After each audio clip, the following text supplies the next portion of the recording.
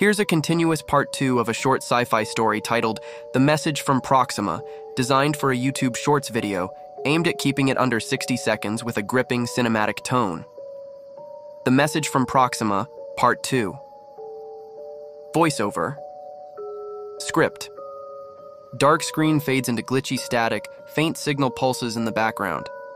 The message from Proxima wasn't a call, it was a countdown. Cut to Earth, panicked scientists, satellites turning. At first, we thought it was a greeting, some long lost signal from intelligent life. Beat drops flash images, alien symbols, binary code, time ticking down. But when we decoded it, we realized the numbers were dates. One flashes June 19, 2025.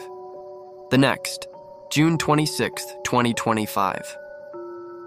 Each date matched a seismic event earthquakes, power grid failures, vanishings, quick flash to a red mark on the calendar, next date, June 26. We tried to warn the world, but they laughed until the moon dimmed. Cut to eerie shot of the moon half shrouded in shadow. Now we wait, one week left. The message wasn't a warning, it was a schedule. Final text on screen, transmission incomplete. Awaiting part three. Would you like the script formatted for voiceover or need